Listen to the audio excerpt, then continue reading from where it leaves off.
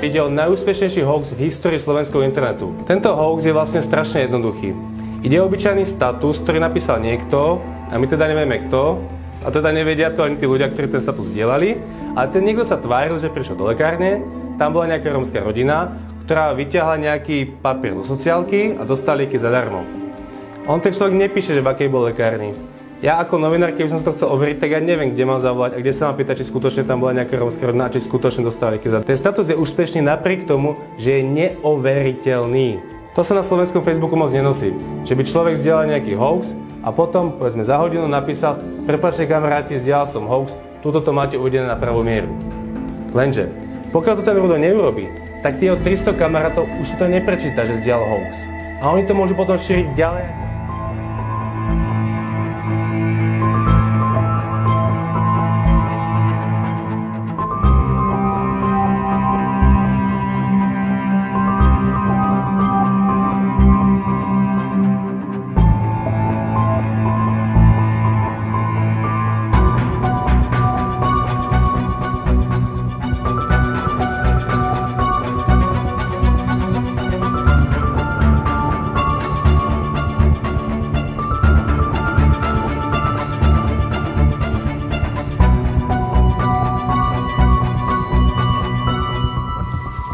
Niektorí z vás, niektorí z vás.